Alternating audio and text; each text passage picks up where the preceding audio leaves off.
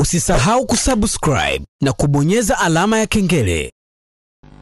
Kuna watu hata angefufuka baba yetu wa kiroho, alafu tukamwambia huyu ni mfuasi wako, yawezekana angesema mm -mm. Mimi sina wafuasi kama huyu. Mfuasi amezaa vitoto ovyo ovyo, mfuasi malaya, mfuasi anaimba kwaya na vimada, tena wengine hawana hata aibu. Kimada naye yuko umo umo, na yeye yuko umo umo, wanapiga step umo umo, wamegeuza kwaya kapango ka kuzimu, wamegeuza kwaya ka kikundi ka ibilisi kanakoimba kanisani. Baba yetu wa kiroho angekataa. Angesema hawa sio wale niliowatoa kanisa kulileta hapa. Kungekuwa na haja gani ya kuwa na matengenezo kama unakuwa na kwaya za watu maraya? Wengine hata hawawezi kuimba nyimbo mpaka wapite mahali watafute network, yaani azimue pombe kwanza, ndo anasema ukiimba ukiwa umekunywa kidogo unaondoa aibu. Na Paulo anasema msilewe kwa mvinyo ambamo muna ufisadi, bali mujazwe Roho. Sasa huku nako kwenda baa ndio kuna ujazo wa Roho Mtakatifu atakaye kusaidia kuondoa aibu. Alafu tukisema mnasema hawa wanaharibu Injili eh, wanaharibu kanisa letu, wana mahubiri tofauti. Wewe unalifahamu kanisa la Kiluteri? Wewe unalielewa? Umetandia gari kwa mbele, utagongwa. Rudi soma historia ya kanisa, ujue Waluteri ni watu wa namna gani, ujue kanisa hili ni la namna gani. Kuna watu mmejiunga humo ndani, hamjui na itikadi za kanisa, hamjui na misimamo yake, hamjui kwa nini kanisa la kiinjili.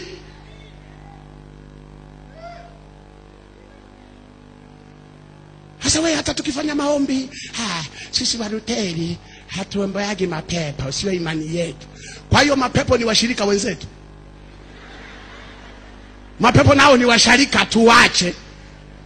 Yaani tuendelee kushirikisha meza ya Bwana. Mtu ana pepo ndani, tunamwambia pokea mwili, na pepo linasema eh, mwili ukumbuke.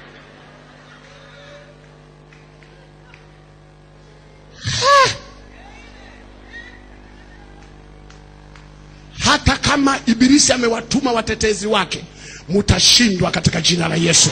Lazima tushughulike nayo, lazima tuyang'oe kwenye mili ya watu, lazima yachomoke. Niye majenti wake mliotuma kuyatetea mapepo, hatutawasikiliza. Moto umewaka, hakuna kurudi nyuma, lazima kieleweke.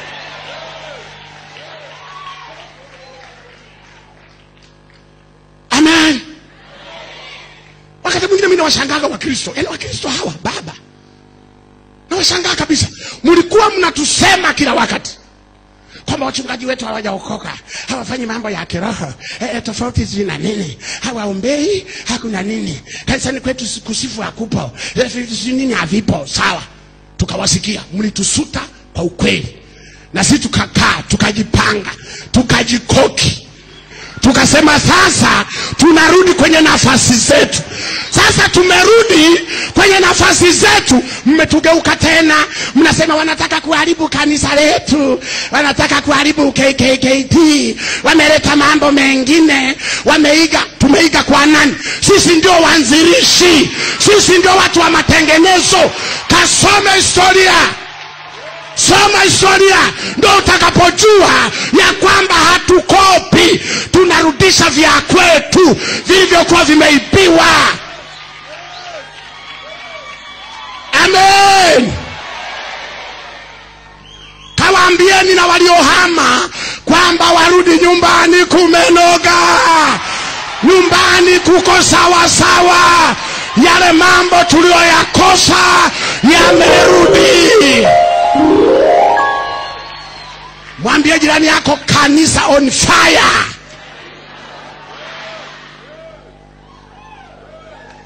Mambo ni mambo ni.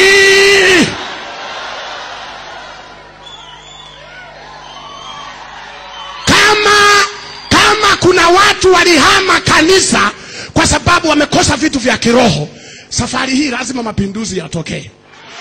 Safari hii mutakaohama ni wachawi mutakaohama ni ambao muna matatizo ya kiroho.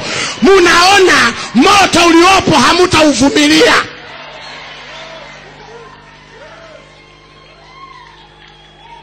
Amen. Ndio maana hata mabaraza ya wazee yaliyochaguliwa awamu hii yako tofauti kidogo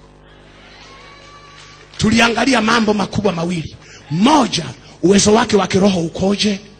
Mbili hata kama kweli una akili sawasawa na uchumi wako uko vizuri na vyenyewe vichachangia lakini cha msingi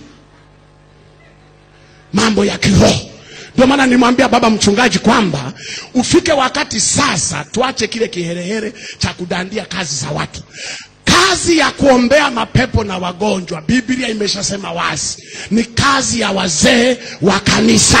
Ukisoma waraka ule wa yakobo anasema kama kwenu kuna mtu mgonjwa hajiwezi na waitwe wazee. Wafanyeje? Wahesabu sadaka?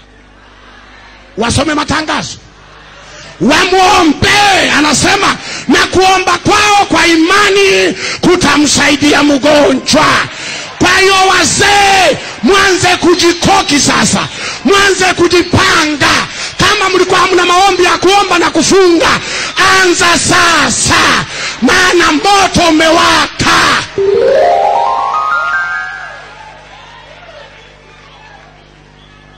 Ndio maana baba yetu mzee marasusa kwa kinywa chake na mnukuu alisema sasa hivi tunahitaji injiri sahihi.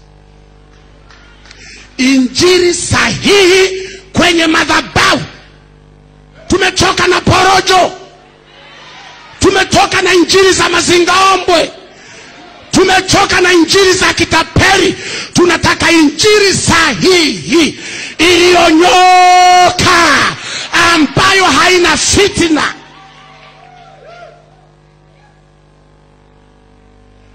mnataka injili zile za modern gospel eh?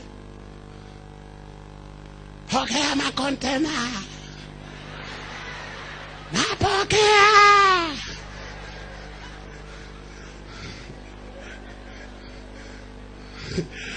unataka kupokea makontena nilisema juzi hujawahi kuuza hata mapapai hujawahi hata kuuza machungwa hujawahi unataka makontena Asante kwa kutazama OSTV.